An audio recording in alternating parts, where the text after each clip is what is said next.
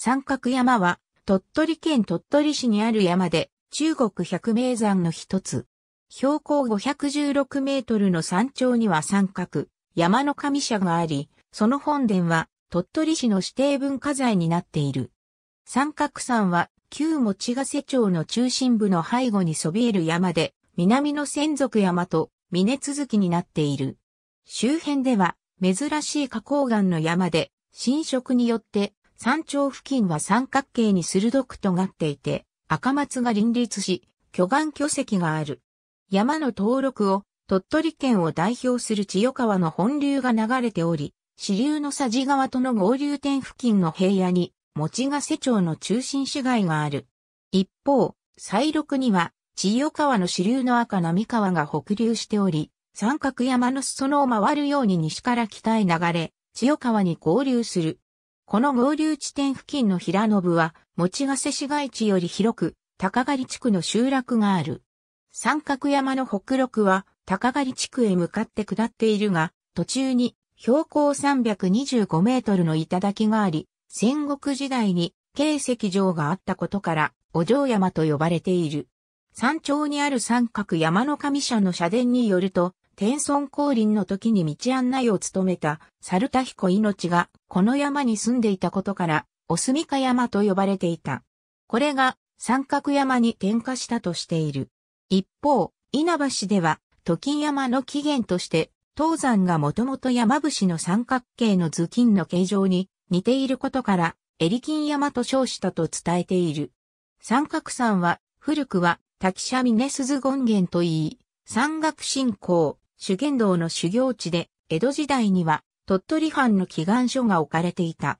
山域は、太平洋戦争前までは、女人禁制で、ふもとにはリバや、女人堂が残されている。このため持ヶ瀬では山や神社を宝釈さんとも呼ぶ。享保年間から8月24日を祭礼日とし、持ヶ瀬の滝祭りと称していたが、新暦となった現在では7月23日が祭礼日となっていて、名物の飴湯の販売や松明行列などを行う持ヶ瀬の夏祭りになっている。明治時代に神社体系の整備が行われると、三角山の神社となり、山麓の遠い村にあった病犬者の拙者の扱いとなった。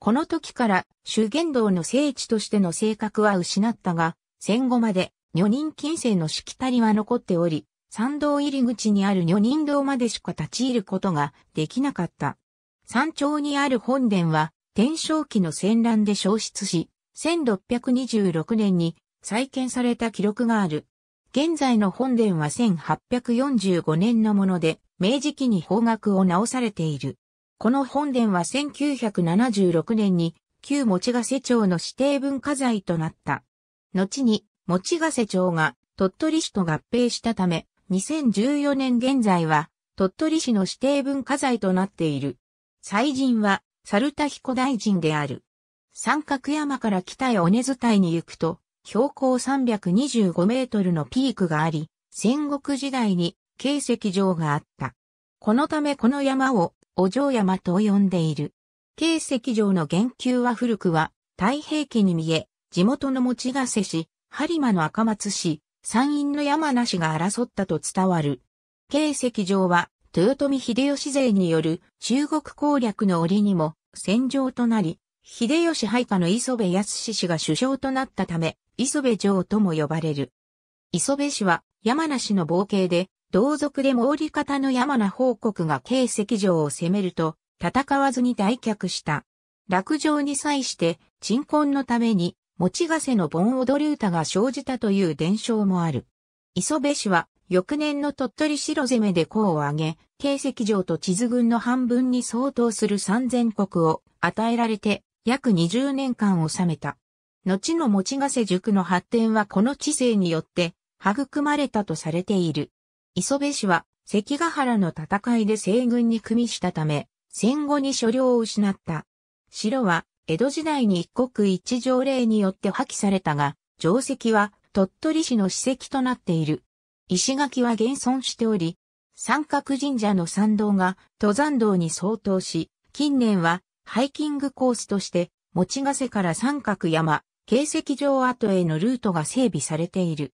持ヶ瀬駅から20分ほどで女人堂がある山道の入り口に至り、そこから山頂までは約40分の道程である。山道の途中には大正時代の鳥取出身の歌人、谷口雲外の歌、うぐいすやこの道行けば、女人堂の石碑や、種田三等家、有原の雪平の歌の石碑がある。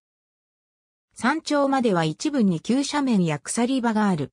平安時代の有原の雪平は、855年に稲葉国の国司に任じられ、京都から稲葉国に下校した。持ヶ瀬では、この時雪平が持ヶ瀬で次の歌を読んだという伝承がある。この歌に読まれている、三隅の山が三角山であり、神が三角山の神社であるという伝承がある。三角山の山頂にある権現では、力石と称して、願掛けや願いが成就した際に、山頂の巨岩に石を手向けるしきたりがあった。なお、この和歌は、鎌倉時代の富木和歌唱に読み人知らずとして収録されているもので、あり、有原の雪平の作であると直接示されてはいない。また、稲葉にはもう一つ、三角山があり、持ヶ瀬の三角山がこの和歌の三隅の山であるのかは定かではない。また、三角山で読まれたという説がある和歌でもう一つ、有名なものに、種田三等歌による次の歌がある。一般にこの歌は、三等歌の自由律俳句の代表例として知られており、三等歌が最初に流浪した九州で読まれたと考えられている。三等歌は各地を旅し、その日記から九州、四国、新州、北陸へ赴いたことが知られているが、三等家自身が日記の一部を焼き捨てたため一部が現存しない。このため、かつては日記に書かれていない山陰には来たことがないというのが定説だったが、後に、持ヶ瀬で昭和3年に三等家が自筆で残したこの歌が発見された。持ヶ瀬町では三角山の参道にこの歌を刻んだ石碑を設けているが、この歌が確実に三角山で読まれたものであるか、どうかについては言及していない。ありがとうございます。